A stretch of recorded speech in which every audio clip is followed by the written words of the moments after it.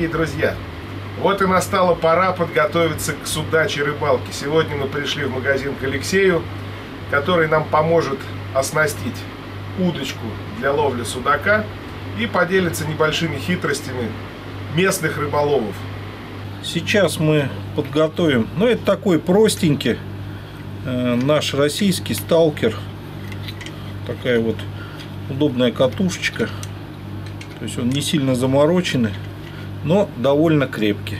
То есть вот он гнется как и не ломается. Даже на морозе. Ну да, поликарбонат. Ну, естественно, сломать можно все что угодно. Но при подсечке, по крайней мере, вроде не подводил. Тут у меня основная леска старенькая есть. Мы сейчас...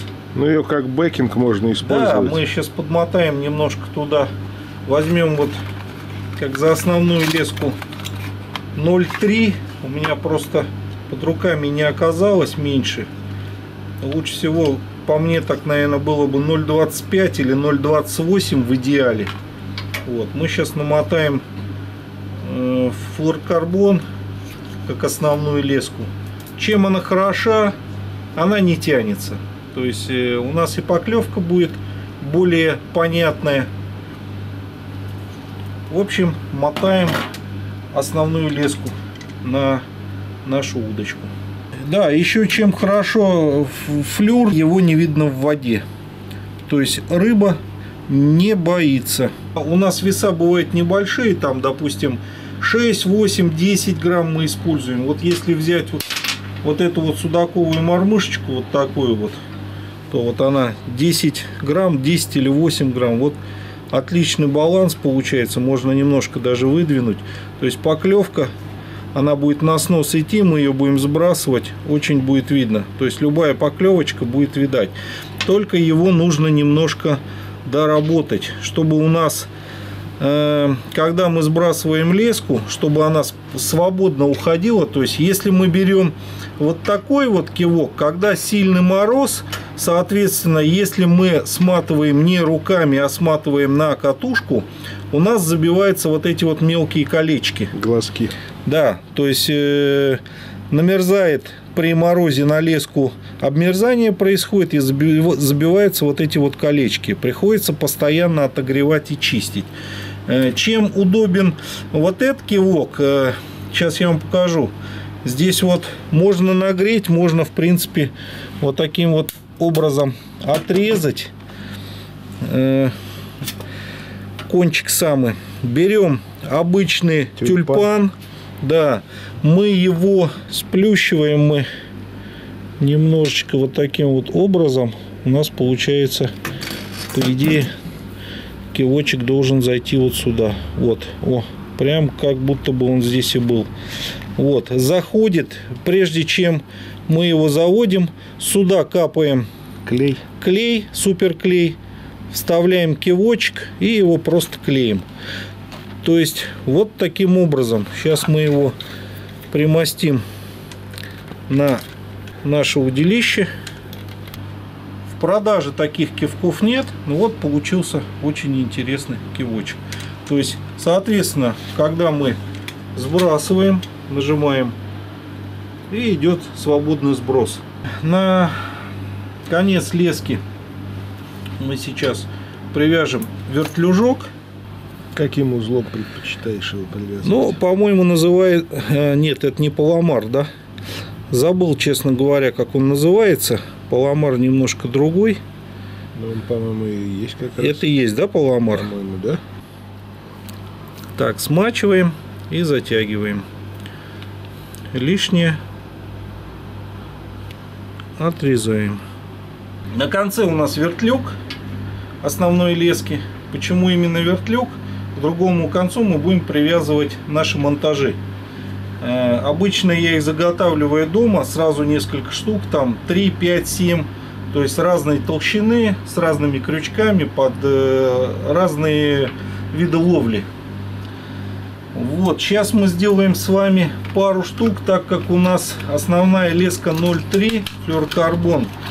Я решил на монтаж взять лесочку поменьше 0,25. Тоже флюрокарбоновая. Она также жесткая, она не тянется. Но в случае зацепа Да, Оторвется оторвется, только монтаж, соответственно, а основная леска наша останется.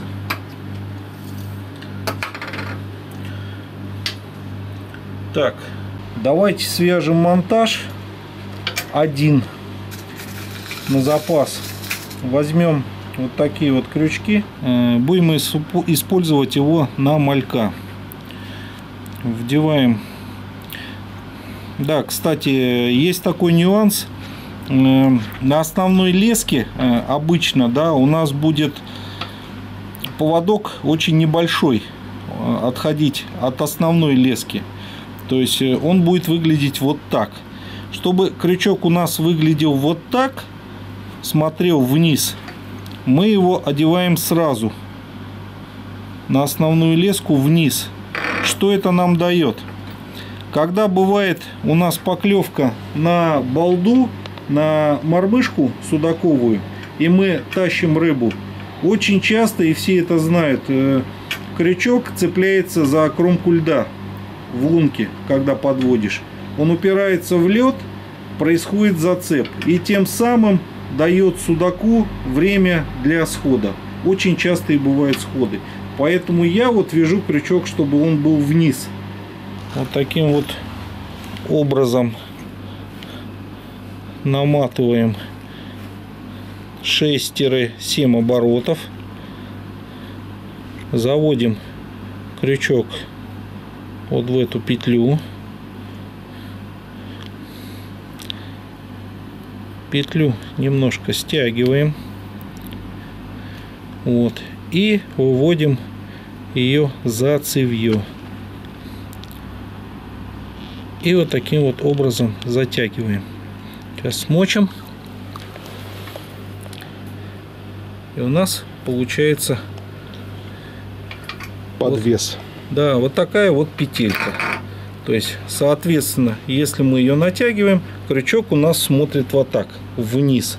То есть, когда мы поднимаем, он выходит вот таким образом и не цепляется за кромку льда. Можно взять карабинчик и привязать карабин без вертлюжка. Потому что зима, холодно. Иногда бывает, что течение то больше, то меньше. И приходится менять, Оснастки. а, да, не оснастки, а болды. То есть э, брать то полегче, то потяжелей. Соответственно, нам будет намного легче менять через карабин. Одеваем вот карабинчик, на карабинчик вот так вот это будет выглядеть. То есть идет, ну вот длинновато, конечно, я привязал, надо сантиметров 30, ну 40 максимум. Вот, это будет первый крючок. Иногда чуть повыше я вяжу второй крючок точно так же. Но сейчас мы его вязать не будем. Оставляем где-то монтаж где-то в районе метра. И в любое время мы можем его поменять. Если у нас произошел какой-то зацеп, монтаж мы оторвали, у нас есть всегда с собой запасной. Дома вяжем. Ну В и тепле. в тепле, да. И привязываем его только к вертлюгу. Вот через него даже, через это колечко даже пролазит спокойный вертлюг. Не мешает нам совершенно. Вот получился вот такой монтаж, вот такая вот оснастка, вот с таким вот крючком. То есть, соответственно, на балду мы одеваем